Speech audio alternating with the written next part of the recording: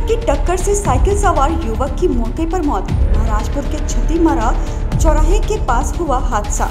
घटनास्थल पर ही हुई युवक की दर्दनाक मौत। मृतक का नाम बलराम, उम्र 19 वर्ष बताया जा रहा है। मृतक युवक बिदनू के देवपुर गाँव का था रहने वाला।